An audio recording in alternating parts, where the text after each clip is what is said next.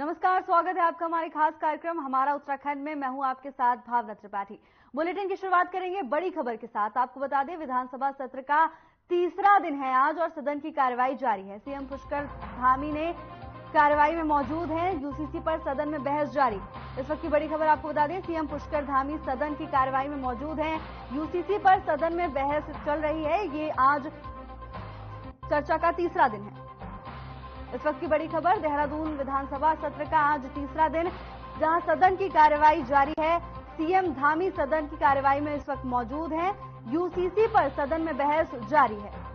इस वक्त की बड़ी खबर आपको बता दें, जहाँ सीएम पुष्कर धामी कार्यवाही में मौजूद हैं। सदन की कार्यवाही जारी है। सदन में यूसीसी पर चर्चा हो रही है। सीएम पुष्कर धामी सदन की कार्यवाही में मौजूद है। सत्र का तीसरा दिन है आज और आज भी यूसीसी पर चर्चा की जा रही है। कार्रवाई में पुष्कर धामी मौजूद है।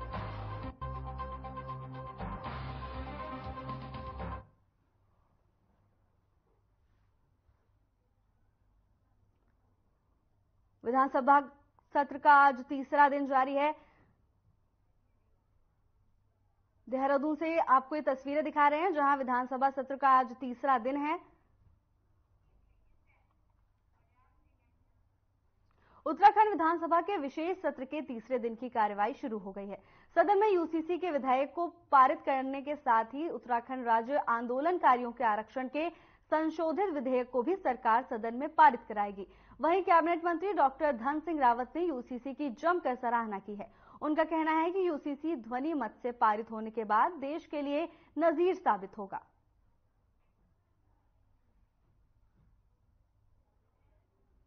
देखिए, आपने देखा होगा कि कल काफ़ी बातें मैंने सदन में बोली। और यहाँ तक मैंने कहा है कि भाई, गोवा प्रदेश में एक सौ सत्तावन वर्ष पहले यूसीसी आया था। उससे भी ज़्यादा सशक्त यूसीसी हमने अपने राज्य में बनाया है। और कल लगभग 25 विधायकों ने इस पर चर्चा की है। आज भी दिन भर चर्चा होने जा रही है। और जैसे ध्वनि मत से पास हो जाएगा कि पूरे देश के लेकर नजीर बनने जा सकते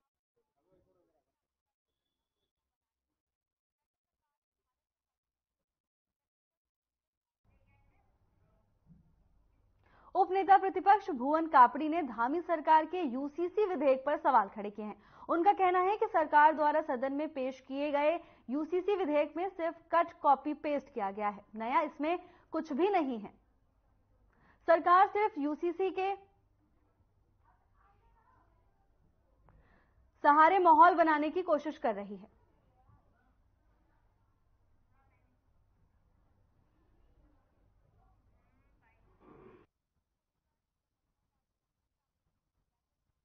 देखिए यूसीसी कट कॉपी पेस्ट है। यूसीसी भाजपा का कट कॉपी पेस्ट है। जितने उसमें नियम है, वो पहले से हमारे संविधान में है।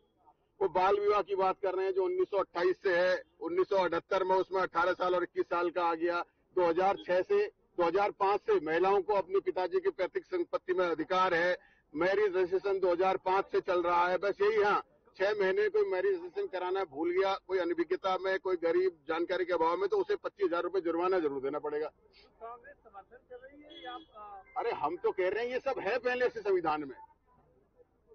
ये तो सब संविधान में है पहले से, और बाकी क्या कह रहे हैं हाउस में अभी आपको दिखाई देगा।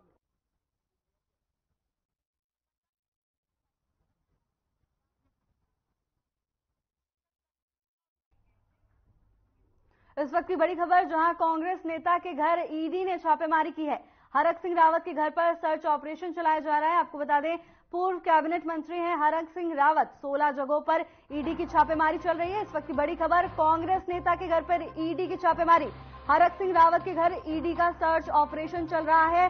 हरक सिंह पूर्व कैबिनेट मंत्री रहे हैं। इस वक्त की बड़ी खबर आपको बता दें, जहाँ 16 जगहों पर ईडी की छापेमारी की खबर सामने आ रही है। कांग्रेस नेता के घर ईडी ने छापेमारी की है। हरक सिंह रावत के घर सर्च ऑपरेशन चलाया जा रहा है। पूर्व कैबिनेट मंत्री हैं हरक सिंह रावत। 16 जगहों पर ईडी की छापेमारी चल रही है। इस वक्त की बड़ी खबर, जहाँ ईडी के कब्जे में कांग्रेस नेता के घर ईडी ने छापेमारी की। हरक सिंह रावत के घर सर्च ऑपरेशन चलाया जा रहा है। आपको बता दें, हरक सिंह रावत पूर्व कैबिनेट मंत्री हैं। 16 जगहों पर ईडी की छापेमारी चल रही है। हरक सिंह रावत के घर सर्च ऑपरेशन चलाया जा रहा है। इस वक्त की बड़ी खबर, जहाँ ईडी ने 16 जगह छापेमारी की है। इसी दौरान कांग्रेस नेता हरक सिंह रावत के घर ईडी का सर्च ऑपरेशन चलाया जा रहा है। 16 जगहों पर ईडी की छापेमारी चल रही है। हरक सिंह रावत के घर सर्च ऑपरेशन चलाया जा रहा है। इस वक्त की बड़ी खबर, जहाँ कांग्रेस नेता के घर ईडी ने छापेमारी की है। हरक सिंह रावत के घर सर्च ऑपरेशन चलाया जा रहा है। आपको बता दें, हरक सिंह रावत पूर्व कैबिनेट मंत्री हैं। 16 जगहों पर ईडी की छापेमारी चल रही है। इसी दौरान कांग्रेस के नेता हरक सिंह रावत के घर भी सर्च ऑपरेशन चलाया जा रहा है। कांग्रेस नेता के घर ईडी ने छापेमारी की। हरक सिंह रावत के घर सर्च ऑपरेशन चलाया जा रहा है। आपको बता दें, पूर्व कैबिनेट मंत्री हैं हरक सिंह रावत, जिनके यहाँ ईडी सर्च ऑपरेशन चला रही है। 16 जगहों पर छापेमारी कर रही है ईडी।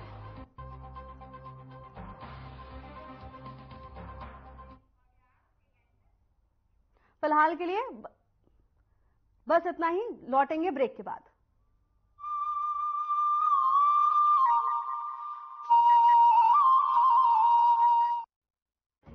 सैनिकों के कल्याण के लिए हर वक्त तत्पर है। उत्तराखंड सरकार, पूर्व सैनिकों को राज्य सरकार की सेवाओं में दिया गया है। क्षैतिज आरक्षण, शहीद सैनिकों के परिजनों को सरकारी सेवाओं में सेवा योजन में वरीयता देने का किया गया है प्रावधान। शहीदों की पत्नियों और उनके आश्रितों के पुनर्वास के लिए दिया जा रहा है कौशल वृद्धि एवं रोज़गार परक निःशुल्क प्रशिक्षण। युद्ध में घायल सैनिकों और परिजनों को एक मुश्त दी जा रही है दो लाख रूपए की सहायता। विभिन्न युद्धों और आंतरिक सुरक्षा व सीमांत झड़पों में शहीद सैनिकों के आश्रितों को उत्तराखंड शहीद कोष से दी जा रही है एक मुश्त दस लाख रुपए की धनराशि। उत्तराखंड बन गया है वीर सैनिकों को सबसे अधिक अनुदान देने वाला राज्य। उत्तराखंड के वीरों का देश के लिए शहादत में बड़ा योगदान रहा है। ये वीरों की भूमि है। हम शहीदों के परिजनों के लिए हर सुविधा देने के लिए कटिबद्ध हैं संकल्पबद्ध हैं। सरकार से मिले सम्मान और सुविधाओं से लेकर सैनिक हैं बेहद खुश। राज्य सरकार पूर्व सैनिकों के लिए अनेक सी योजनाएँ संचालित कर रही है जिसमें की गृह कर में छूट स्टाम्प ड्यूटी में छूट, स्कॉलरशिप में छूट और राज्य दिन सेवाओं में आरक्षण का लाभ दिया जा रहा है। उत्तराखंड सरकार अपने रणबांकुरों की याद में उत्तराखंड में पांचवे धाम के रूप में बनाने जा रही है सैन्य धाम। सैन्य धाम निर्माण के लिए शहीदों के आँगन से लाई गई मिट्टी को सैन्य धाम में बनने वाली अमर जवान ज्योति की नींव में रखा गया है। देव भूमि के साथ ही वीर भूमि भी है उत्तराखंड। सैनिकों का सम्मान है, देश का सम्मान।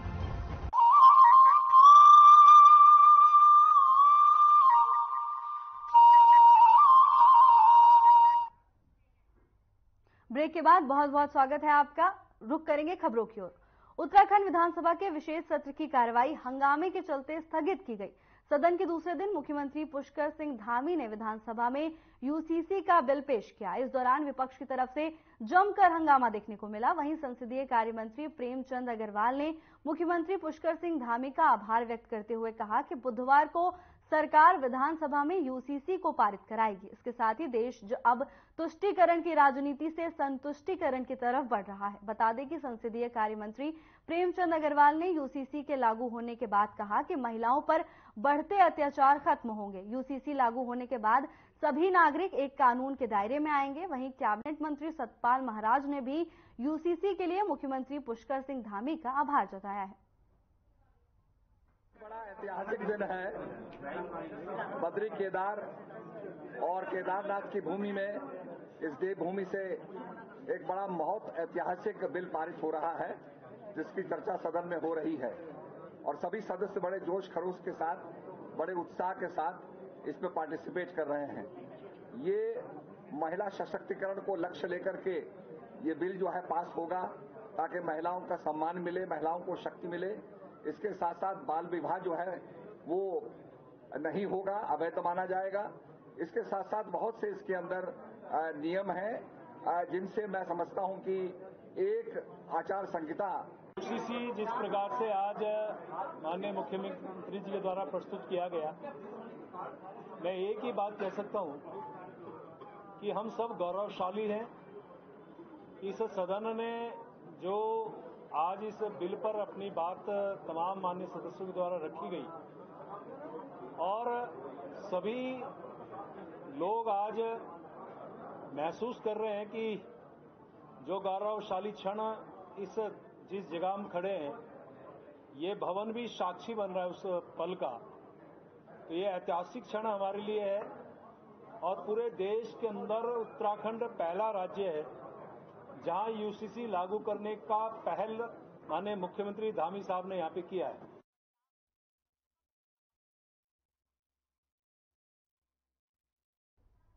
उत्तराखंड विधानसभा के विशेष सत्र का आज तीसरा दिन है। सदन के हंगामेदार शुरुआत की असर है। नेता प्रतिपक्ष यशपाल आर्य ने विधानसभा में पत्रकारों से बातचीत में कहा कि सरकार को यूसीसी का विधेयक परवर समिति को सौंपना चाहिए।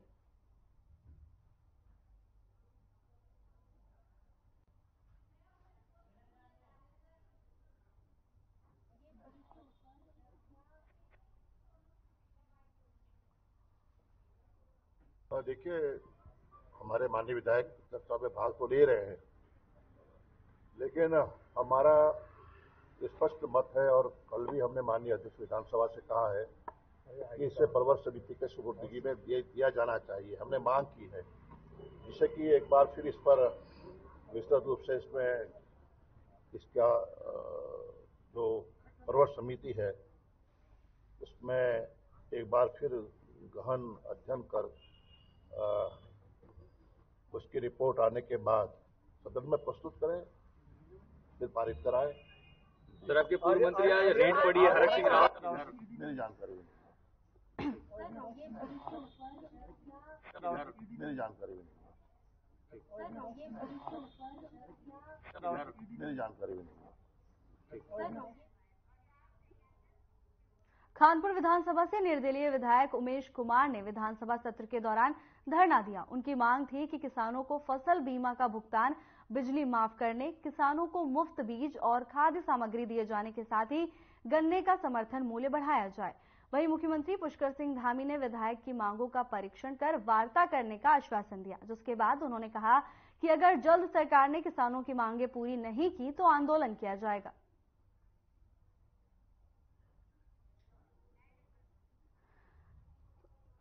किसानों की मांग को लेकर उमेश कुमार ने धरना दिया है।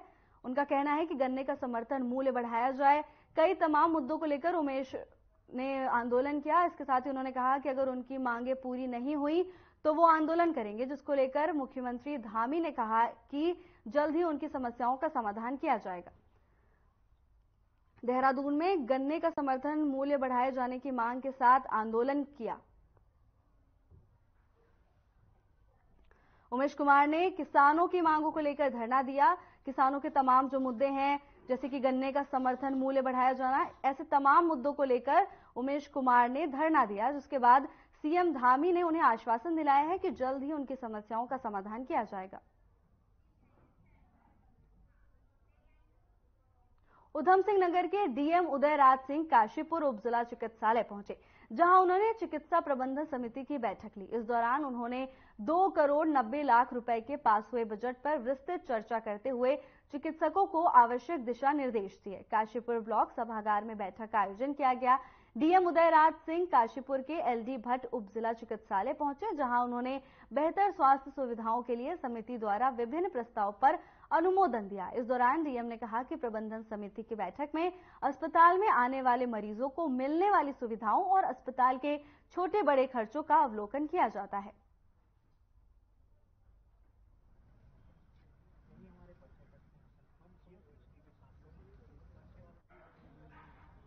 देखिए, ये जो बैठक होती है, ये हर छः महीने के अंतराल में इसका बैठक करने का है। और इसमें हॉस्पिटल्स की जो ज़रूरतें होती हैं, जो अनुदान और यूज़र चार्ज से जो पैसा कलेक्ट होता है, उसी से हॉस्पिटल की दैनिक ज़रूरतों को पूरा किया जाता है।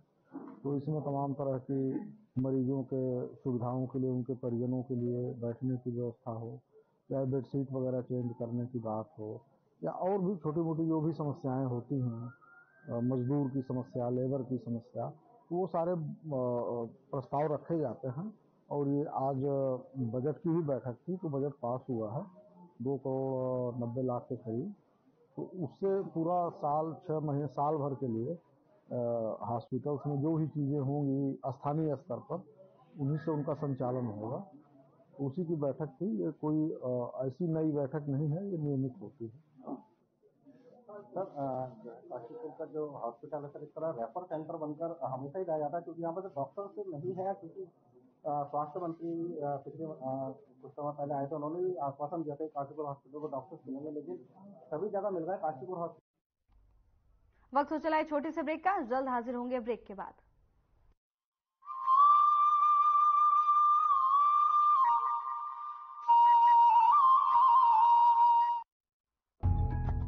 प्रधानमंत्री श्री नरेंद्र मोदी के मार्गदर्शन और मुख्यमंत्री श्री पुष्कर सिंह धामी के नेतृत्व में उत्तराखंड सरकार सबका साथ, सबका विकास के मूल मंत्र पर आगे बढ़ रही है। मेरा विश्वास है, ये दशक उत्तराखंड का दशक होने वाला है। और जो भारत को देखना चाहता है, वो उत्तराखंड आए बिना भारत को देखना उसका पूरा नहीं हो सकता।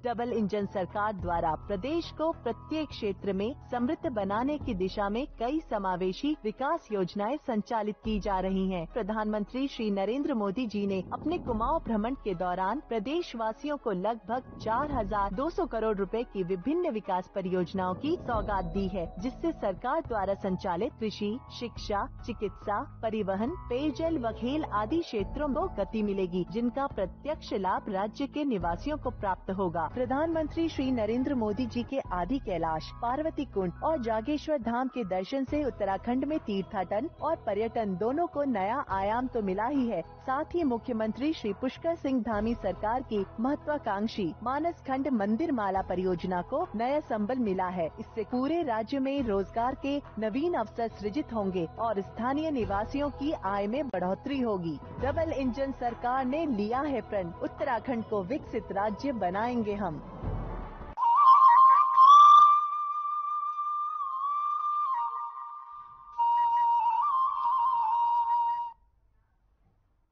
ब्रेक के बाद बहुत बहुत स्वागत है आपका। रुक करेंगे खबरों की ओर। खबर हरिद्वार से है, जहाँ पुलिस कप्तान प्रेमेंद्र डोभाल के निर्देश पर पुलिस दुकानों की सैर पर निकली। एसएसपी ने फेसबुक पेज पर जनता द्वारा किए गए आग्रह का संज्ञान लिया। इस दौरान अवैध रूप से बिक रहे चाइनीज़ मांझे को लेकर एक्शन लिया गया। आपको बता दें कि इस कार्रवाई में एक कुंटल से अधिक चाइनीज़ मांझा जब्त किया गया है। चाइनीज़ मांझा, जो कि बेहद खतरनाक साबित होता है, ज़्यादातर वाहन चालकों को नुकसान पहुँचा देता है तो कहीं पशु पक्षी इससे चोटिल हो जाते हैं। ऐसे में चाइनीज़ मांझे को लेकर एक्शन में पुलिस दिखाई दे रही है। इस कार्रवाई में एक कुंटल से ज़्यादा चाइनीज़ मांझा जब्त किया गया है।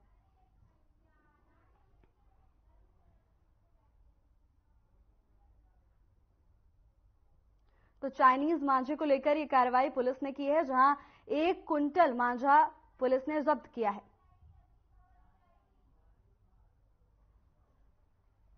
चाइनीज़ मांझा, जिसके कारण कई सड़क दुर्घटनाएँ हुई, लोग काफ़ी परेशान रहे। इसके बाद एसएसपी ने बताया कि उन्होंने फेसबुक के ज़रिए इस बात का संज्ञान लिया और कार्रवाई की गई, जिसमें एक कुंटल से अधिक चाइनीज़ मांझा बरामद किया गया है।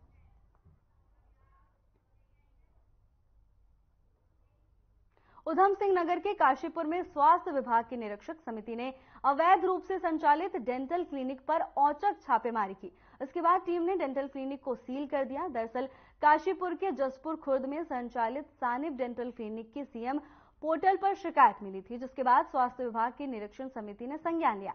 सीएमओ ने डॉक्टर मनोज कुमार शर्मा ने बताया कि जिला स्वास्थ्य अधिकारी के नेतृत्व में छापेमारी के बाद बिना रजिस्ट्रेशन और डॉक्टर की डिग्री के बगैर चल रहे डेंटल क्लिनिक को सील कर दिया गया। क्लिनिक जसपुर खुर्द में सानिब डेंटल क्लिनिक नाम से स्वार रामपुर निवासी दानिश ने खोला था।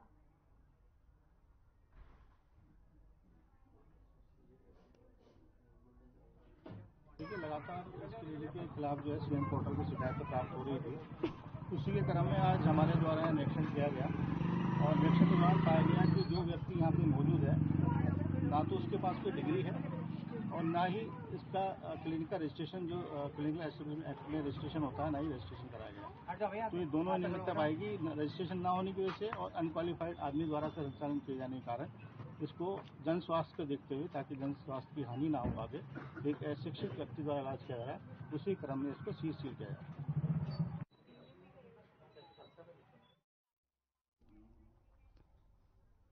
विपक्षी दल कांग्रेस पार्टी ने सदन में हंगामा किया और चर्चा करने के लिए समय मांगा गया, जिस पर सदन ने विपक्ष को दो घंटे का समय दिया। इस बात पर नाराज़गी जताते हुए भगवानपुर विधायक ममता राकेश ने कहा कि यूसीसी का ड्राफ्ट लगभग 700 पन्नों का है, जिसके लिए दो घंटे बहुत ही कम समय है। विपक्ष को यूसीसी बिल का अध्ययन करने के लिए ज़्यादा समय दिया जाना चाहिए।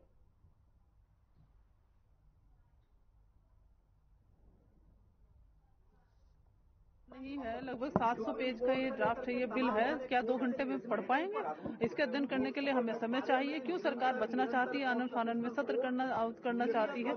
सत्रावधि बढ़ाई जानी चाहिए ताकि सभी सही तरीके से इसका अध्ययन कर सके अध्ययन के बाद सभी चर्चा में भाग ले सके। इसके दोषों का भी पता चल सके ताकि उसका निवारण किया जा सके।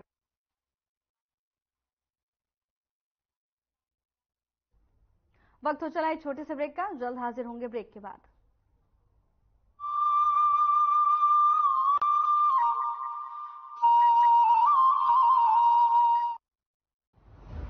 प्रधानमंत्री श्री नरेंद्र मोदी के मार्गदर्शन और मुख्यमंत्री श्री पुष्कर सिंह धामी के अथक प्रयासों से देवभूमि उत्तराखंड में रेल कनेक्टिविटी के क्षेत्र में अभूतपूर्व कार्य हो रहा है, जिसके परिणाम स्वरूप प्रदेश में पर्यटन, उद्योग और अन्य व्यापारिक गतिविधियों में तीव्र गति से विकास होगा। प्रधानमंत्री श्री नरेंद्र मोदी ने देहरादून से दिल्ली तक चलने वाली वंदे भारत एक्सप्रेस का उद्घाटन किया। साथ ही उत्तराखंड के सभी रेल नेटवर्कों का विद्युतीकरण का कार्य सौ प्रतिशत पूरा हो गया है। प्रदेश में रेल नेटवर्क को मज़बूत करने के लिए लगभग सोलह हज़ार करोड़ की लागत वाली ऋषिकेश कर्ण प्रयाग रेल परियोजना पर भी तेज़ी से काम चल रहा है। अमृत भारत रेलवे स्टेशन योजना से हर्रावाला रेलवे स्टेशन का 30 करोड़ रुपए, रुड़की रेलवे स्टेशन का उनतीस करोड़ रुपए और लाल कुआँ रेलवे स्टेशन का 23 करोड़ रुपए से कायाकल्प किया जा रहा है। कुमाऊं के पहाड़ी इलाकों को जोड़ने वाली टनकपुर बागेश्वर रेल लाइन का निर्माण कार्य जल्द शुरू होगा। डोईवाला से गंगोत्री यमुनोत्री रेल लाइन के सर्वे पर भी सहमति दी जा चुकी है। रेलवे ने बजट 2023-24 में उत्तराखंड को 5004 करोड़ रुपए की सौगात दी है। इसमें हरिद्वार और देहरादून रेलवे स्टेशनों को विश्व स्तरीय सुविधाओं से लैस करते हुए इनके प्लेटफॉर्म के ऊपर रूफ टॉप का निर्माण किया जाएगा। मज़बूत रेल नेटवर्क बन रहा है। प्रगति और आधुनिकता का प्रमाण। डबल इंजन सरकार कर रही है सशक्त उत्तराखंड का निर्माण।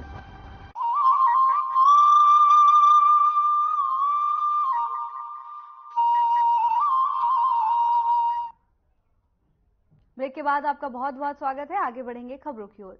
यूसीसी ड्राफ्ट को लेकर उत्तराखंड कैबिनेट मंत्री सतपाल महाराज का बयान सामने आया है।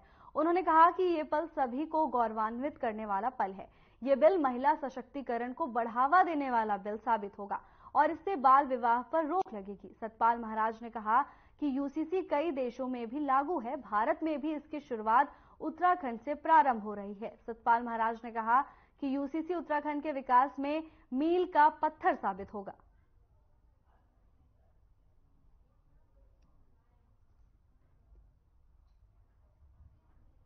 आज बड़ा ऐतिहासिक दिन है। बद्री केदार और केदारनाथ की भूमि में इस देवभूमि से एक बड़ा बहुत ऐतिहासिक बिल पारित हो रहा है, जिसकी चर्चा सदन में हो रही है। और सभी सदस्य बड़े जोश खरोश के साथ बड़े उत्साह के साथ इसमें पार्टिसिपेट कर रहे हैं।